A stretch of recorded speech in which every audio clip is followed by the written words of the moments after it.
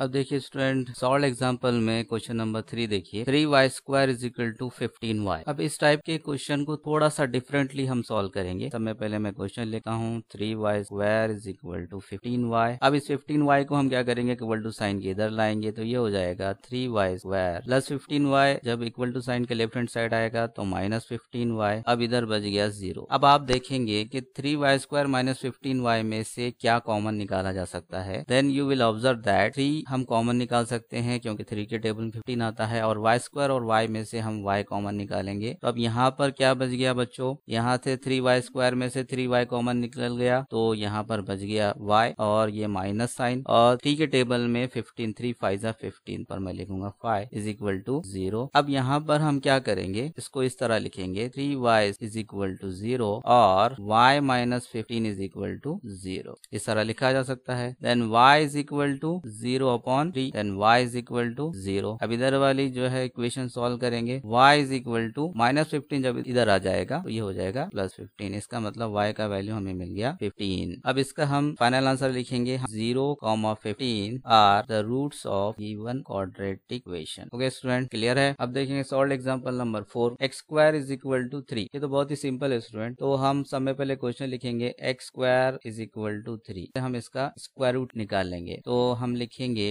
taking square root of both the sides okay x square का square root निकालेंगे तो आपको मिलेगा एक्स और थ्री का स्क्वायर रूट निकालेंगे तो आपको मिलेगा प्लस और माइनस रूट थ्री क्योंकि थ्री का स्क्वायर रूट होता है रूट थ्री अब ये प्लस और माइनस हमने क्यों लिया स्टूडेंट इसका थोड़ा सा एक्सप्लेनेशन मैं यहाँ पर कर देता हूँ. रूट थ्री का अगर स्क्वायर करते हैं तो आपको मिलता है प्लस थ्री ओके और उसी तरह अगर माइनस रूट थ्री का स्क्वायर करते हैं हम तो भी आपको मिलता है प्लस इस वजह से थ्री का square root plus root three भी हो सकता है थ्री का square root minus root three भी हो सकता है। इस वजह से हमने लिखा है x is equal to plus और माइनस रूट थ्री तो इसको हम क्या करेंगे? एक मरदा प्लस रूट थ्री लिखेंगे। X is equal to plus root three और x is equal to minus root three अब फाइनल आंसर लिखेंगे। Root three comma minus root three are the root of given quadratic equation okay student अब हम देखेंगे solved example number five solved example number five क्या है? देखिए student समय पहले हम लिख लेंगे। तो ये है six root x square plus seven x is equal to. Root तो पिछले वीडियो में हमने आपको बताया था, अगर आपने पिछला वीडियो हमारा नहीं देखा है तो ऊपर आई बटन पर क्लिक कर कर आप हमारे पिछले वीडियोस देख सकते हैं। इसको आपको क्या करना पड़ता है? A x square plus b x plus c के फॉर्म में लाना पड़ता है। A x square plus b x plus c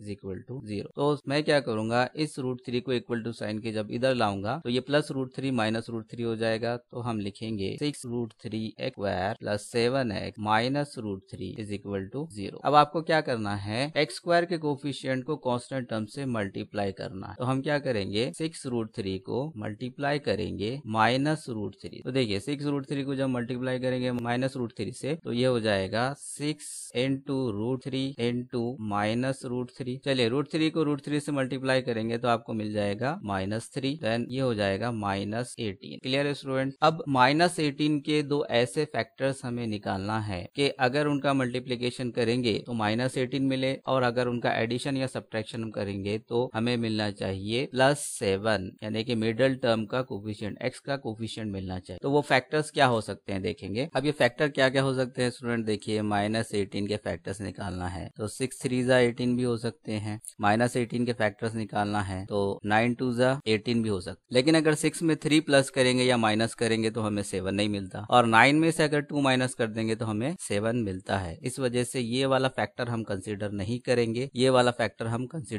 करेंगे नाइन एंड टू लेकिन हमें मिलना है प्लस सेवन एक्स इस वजह से मैं क्या करता हूँ टू को माइनस साइन लगाता हूँ। चलिए अब दो कंडीशन जो फुलफिल होने हैं, वो हम देखेंगे। नाइन को अगर माइनस टू से मल्टीप्लाई करेंगे तो आपको मिलेगा माइनस एटीन और दूसरी कंडीशन क्या है स्टूडेंट नाइन में से अगर टू माइनस करेंगे तो आपको मिलेगा सेवन यानी कि दोनों कंडीशन फुलफिल हो गए। तो इस फैक्टर्स को हम यहाँ पर लिख देंगे। तो हम क्या करेंगे student six root three x square as it is लिखेंगे। और माइनस रूट थ्री भी आपको एज इट इज़ लिखना है। ये जो सेवन एक्स है, सेवन एक्स की जगह पर आपको लिखना है plus nine x minus two x. तो ये हो जाएगा six root three x square plus nine x minus two x minus root three is equal to zero. अब हमें यहाँ पर जोड़ियाँ बनानी है। पहली जोड़ी रहेगी six root three x square plus nine x और दूसरी जोड़ी रहेगी minus two x minus root three. अब देखिए, इसमें किस तरह कॉमन निकालना है, हम आपको बहुत ही सिंपल करके समझाने वाले हैं। तो ये सिक्स रूट थ्री का सिक्स रूट थ्री आप लिख देंगे as it is x square का एक्स स्क्वायर। अब देखिए, मैं क्या करता हूँ, नाइन को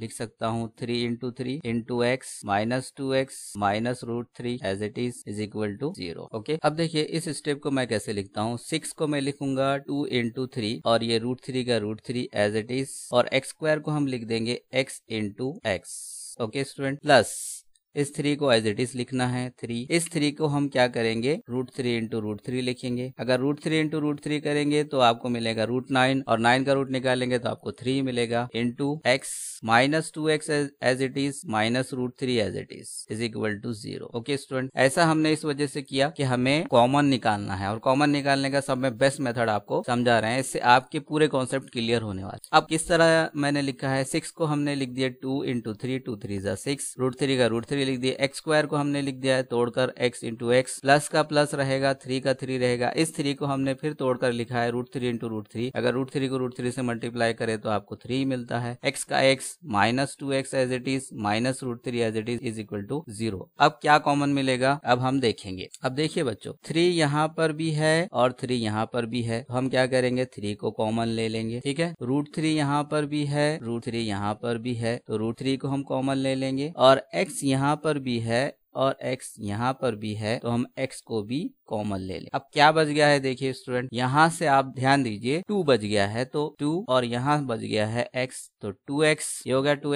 अब उसके बाद देखिए यहाँ पर यहाँ पर बच गया है root three plus root three तो ये हो गया two x plus root clear है स्टूडेंट इधर वाले सेक्शन पर आ जाइए। इसमें हम क्या कॉमन निकालेंगे? तो आप देखेंगे यहाँ पर कुछ भी कॉमन नहीं है तो इस वजह से मैं क्या करता हूँ माइनस वन कॉमन निकाल तो माइनस वन जब कॉमन निकालेंगे तो यहाँ पर क्या बच जाएगा? टू बच जाएगा। और ये माइनस माइनस प्लस हो जाएगा। प्लस रूट थ्री का plus root three is equal to zero. ठीक है? देखिए, यहाँ पर जो ब्रैकेट के अंदर two x plus root three मिला था, यहाँ पे भी ब्रैकेट में two x plus root three मिला है। अब हम क्या करेंगे? Two x plus root three को फिर से कॉमन ले लेंगे। तो मैं फिर से कॉमन ले लेता हूँ तो two x plus root three. देखिए, यहाँ से two x plus root three common निकल गया तो दूसरे ब्रैकेट में क्या बचेगा student? Three root three x, और यहाँ से बचेगा minus one is equal to zero. आपको बहुत ही सिंपल करके हमने आपको समझाया है। इसको हम किस तरह लिख सकते हैं? अब इसको लिखेंगे जैसा कि आपको मालूम ही है। Two x plus root three is equal to zero और three root three x minus one is equal to zero. अब इधर वाली इक्वेशन को हम सॉल्व कर लेंगे तो ये हो जाएगा two x is equal to